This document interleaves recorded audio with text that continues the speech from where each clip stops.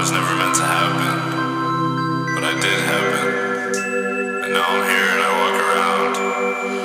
I walk around at night, not knowing where to go and not knowing what to do. I drink and I smoke. And I hate myself more and more each day.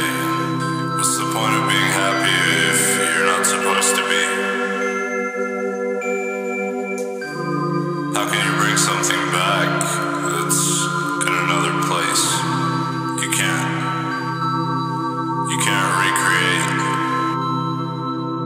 And I told you you were beautiful.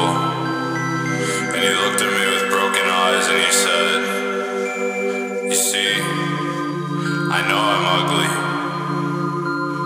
I know I'm ugly. I know I'm not supposed to be beautiful. And that was the last day that I saw you.